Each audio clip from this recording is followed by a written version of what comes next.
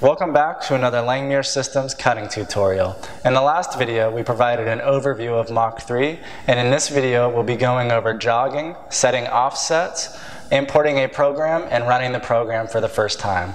First, let's uh, turn the power on to the machine by toggling the power switch on the electronics enclosure. Now before I get into jogging the machine, I first want to describe what each axis is. We have the y-axis, which is defined by the upper rail, and we have the x-axis, which is defined by the gantry tube. When we jog the machine in the y-axis, it means that the carriage is moving along the rail.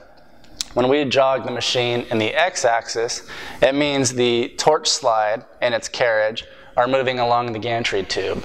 Now, positive y is this direction, negative y is this direction, positive x is this direction, and negative x is this direction. Uh, jogging is needed because every cutting program has an origin. Jogging is used to manually place the position of the torch to the origin of the program. Now, many programs that you write may have the origin in the bottom left corner of the machine, but it also could have the origin really anywhere you decide to place it.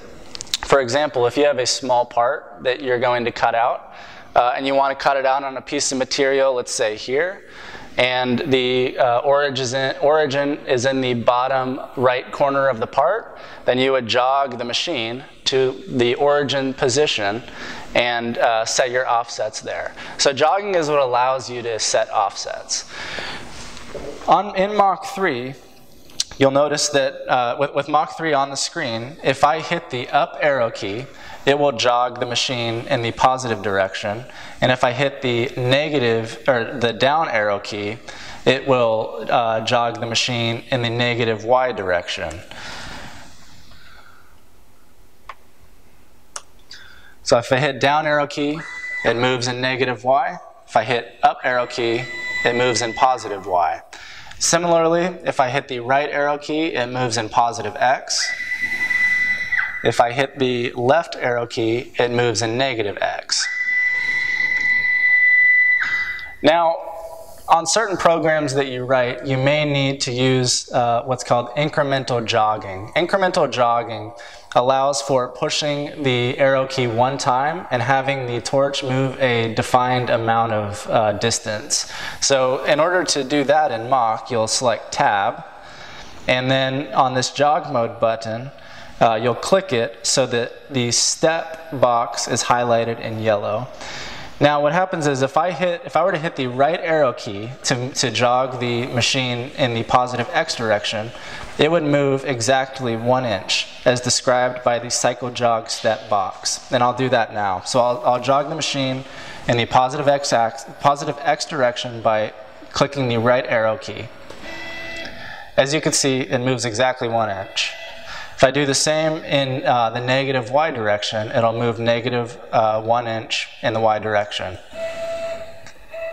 Now I can make this number anything that I want. For example, if I wanted to make it five inches, I would just simply uh, enter in five, hit enter, and then now if I jog uh, in the negative y direction, it'll move five inches. Similarly, if I jog in the x direction, it moves five inches. The way that you control the speed at which it jogs when you're using the incremental uh, step jog mode is to hit tab and then on feed rate you click the box and type in whatever you want. For example, if I want to feed faster, I would enter, for example, 250. Now when I open tab back up, uh, and I hit the right or left arrow or right arrow key, it moves much faster. Now we're going to switch back to continuous jog mode, and we'll do that by hitting tab and then clicking the jog mode button until the continuous is highlighted in yellow. And then hit tab again to close that. Now we're back into the mode where we can hold the arrow keys down and jog the machine. Now you'll notice that when I, for example, hold the up arrow key, that the y-axis digital readout is getting more positive. And then when I hold the down arrow key, the number gets more negative. Similarly, if I hold the right arrow key, the numbers get more positive. If I hold the left arrow key, they get more negative. These numbers are distances relative to wherever the coordinates uh, uh, origin were set previously. Now if I hit 0x and 0y, you'll notice that both of those numbers are now 0. What this represents is that the current location of my torch is now the origin. If I hit the up arrow key, for example, I've moved 4.27 inches in the y direction and 6.27 inches in the x direction. This is important because this is the approach that's needed to uh, set the origin for your cutting program. So on that topic, we'll go ahead and load our first program. So to do that, click Load G-Code and then select the Crossfire Break-In v1.0.tap file. This file is downloadable on our website on the software downloads page. So click it and hit open. Now you notice that the two things, the program is now displayed in the uh, G-code uh, uh, viewing box and it's also graphically shown in the graphics box on the right. Uh, a couple of things. So we want to make sure that uh, when we run this program, the center of our torch is represented in the center of the screen. And to do that, we select jog follow. As you can see, the crosshairs is now in the center. And if I jog the machine, you can see that it moves relative to the path of the program, which is shown by this red line. Uh, now we need to set the offsets uh, for this particular machine, or this particular program. So I'm going to jog the torch until it's in this corner here. Now what this program is going to do is uh, it's going to move 23 inches in the y direction, 23 inches in the x direction, and then it's going to move back to the zero location and do that repeatedly. This is a break-in program, and what it does is it gets the machine running through the majority of its travel to get kind of things uh, running in and breaking in. So I'll move the torch to this location by jogging the machine there. Now I'm just going to get it close using the continuous jog mode.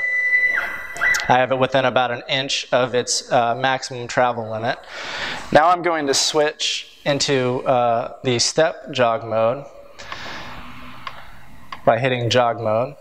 And then I'm going to hit, uh, select a, let's say a 30 thousandths uh, jog step and hit enter there. Now when I hit the arrow keys, it'll move in 30 thousandths increments. So I'm just going to inch up until the carriage bearings are roughly a quarter of an inch away from the stanchion plates. Then I'll move in the X direction until the aluminum carriage is roughly a quarter of an inch from the gantry bolt.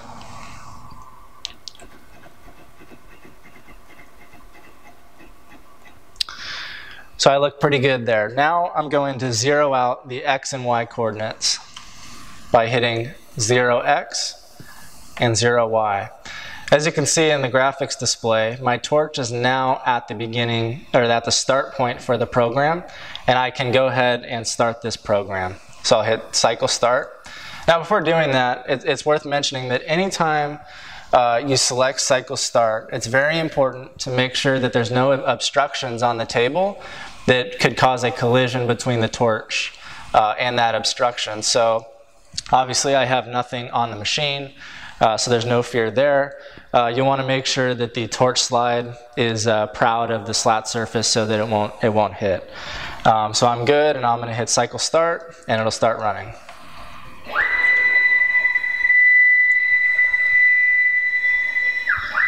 Now if you look in the uh, graphics box you can see as stated previously the torch is represented by the crosshair and it's following the line, the red line shown. Similarly, in the uh, G-code window, it's stepping down through the program and the current line that it's executing is highlighted in white.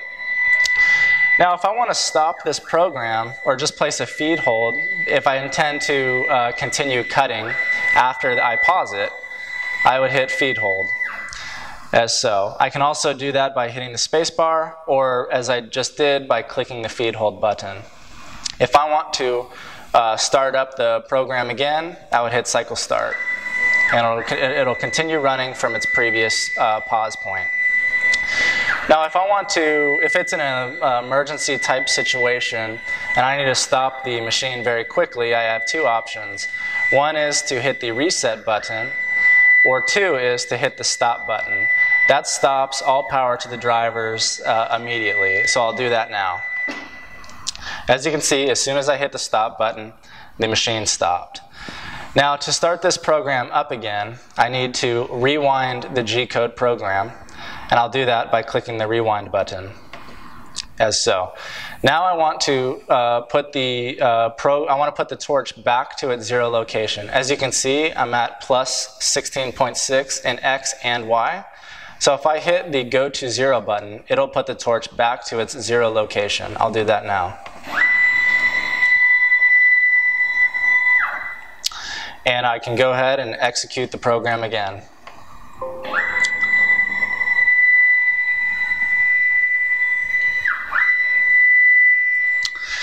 Now I'm going to place a feed hold again, and I'm going to reset it, which uh, starts the program back up to the top, similar to the, similarly to the what uh, rewind does. And I'm going to demonstrate that the, any, that the program can be started uh, regardless of where the torch's position is. So if I jog it to an arbitrary position, such as out here, you can see that in the graphics display, I'm way off of uh, where the origin location is, and I'm not on the toolpath at all. So when I hit uh, the start button, you'll see the torch move to the origin position and then begin executing the program. So I'll do that now.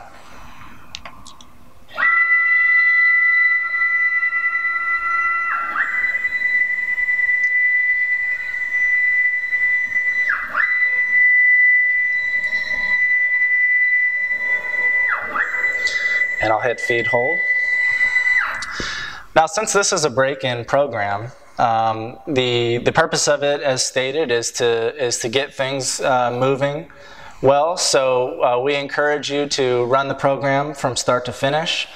Um, and so I'll do that now.